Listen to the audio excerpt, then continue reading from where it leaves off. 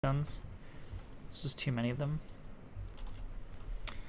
Uh, Necro Golemmancer, um, depends what you're gonna run, but if you end up running uh, hybrid, then uh, save Oak or um, yeah, help Oak uh, for the life, and then kill the last two because you not you're not gonna get anything from those stuff.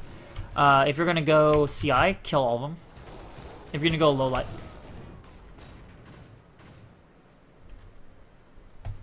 what the fuck? What the fuck? That was so much damage?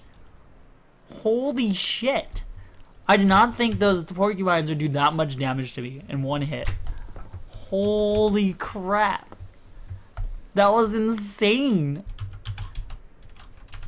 That was insane. That was so much damage. I've never seen that much damage from a porcupine. I didn't lose anything crazy, but I lost one Primordial Harmony, which was like 7C. Luckily, I didn't have my Primordial Might on. That would have sucked. Dude,